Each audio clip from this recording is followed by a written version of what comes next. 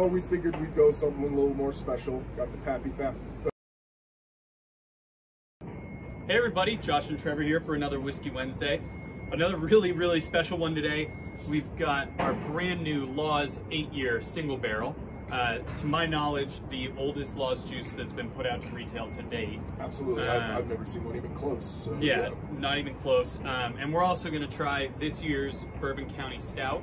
Um, it's not available yet, uh, we, but we wanted to try it early and kind of give you guys some notes and things to think about as, as we do get closer to that release. Yeah, absolutely. We'll be, it'll be released on Black Friday, like every year. So Right.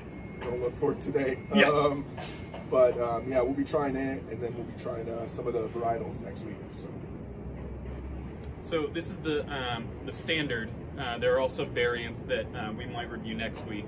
Um, but this uh, aged in Wild Turkey and Heaven Hill barrels. yeah, Um, it's got a really kind of molassesy nose to me. yeah. I get Um, molasses. I get some cocoa. I Mhm. get like a little coffee thing almost. Really nice. Ooh, that's really good. These guys always do a great job. Yeah, I mean, Um, you definitely get the bur- the boozy bourbon barrel on there. Absolutely. It's got that, it's not a heat, but the, the bourbon barrel flavor. Sure, this is a, Um, a bourbon drinker's beer for sure. Yeah. I mean, yeah, it's it's big. You get the, the whiskey in there. You get the oak, vanilla. I mean, it's just a big, flavorful, bold stout. It's great. Yeah. Um, that's definitely worth getting in line for. Yeah, absolutely. Um, and now on to the Laws 8 year. Uh, so this barrel, you've probably heard it about it a couple times on Whiskey Wednesday. We did a, a video wishing it happy 8th birthday um, a couple weeks ago. It's a barrel that when the distillery opened, we bought and said, hey, hang on to this until we think it's ready. And finally it hit eight years and we tried it and we're like, this is ready to go. Yeah, I mean, we've, we've been trying it every year since I've been at the Argonaut. So four years. Yep. We go back, try it. Hey, it's great, but I think it'll get better. I think it'll get better. Um, also working in conjunction with the distillers there, and they kind of know when that sweet spot is. And we went and Right. tried it this time and thought it was perfect. So, yeah,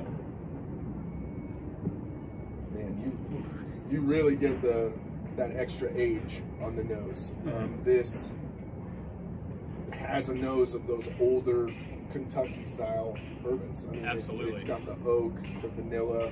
It's not. It doesn't have the big grain forward notes that you get with a lot of Colorado whiskeys, just because they are younger. They haven't had Right. the aging time. So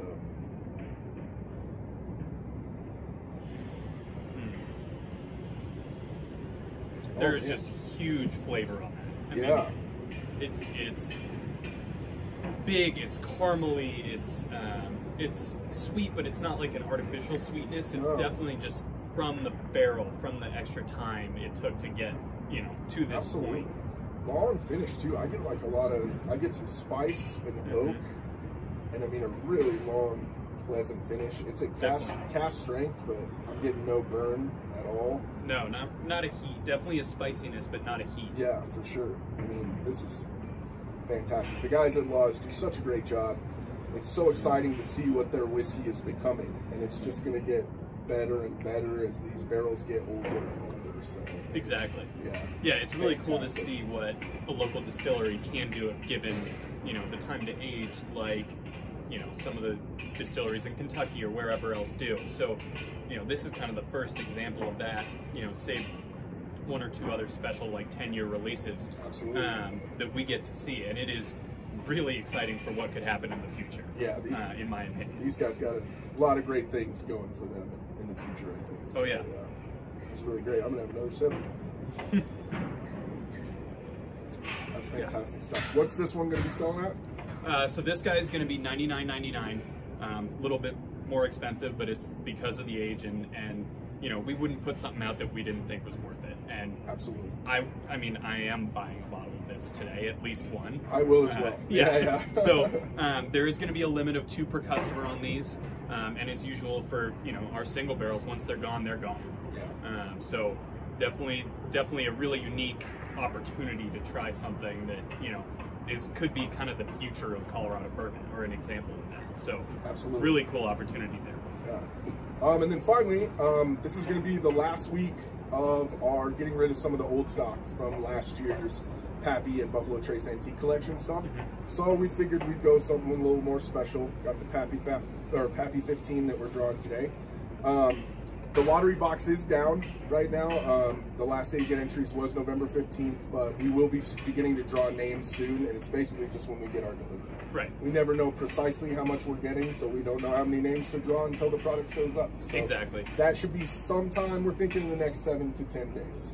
So, Is what we're hoping. Yeah. Absolutely. absolutely. Yeah. But yeah, let's draw a name and see who wins the opportunity to purchase this one. All right. Always with the hard last names. Matthew Teaslau, Teaslau. But uh, you have won the opportunity to purchase a bottle of Pappy 15. So come on into the Argonaut. Yeah, guys, um, this is kind of the first week of getting to do stuff that's coming in for the holidays. I mean, we've got some awesome stuff coming in, cool things like the Bourbon County releases. Um, so there's going to be a lot to kind of see at the Argonaut for, for the next month and a half or so. We've got a bunch of good stuff coming in, so come on down, give them a shot. Cheers. Cheers, guys.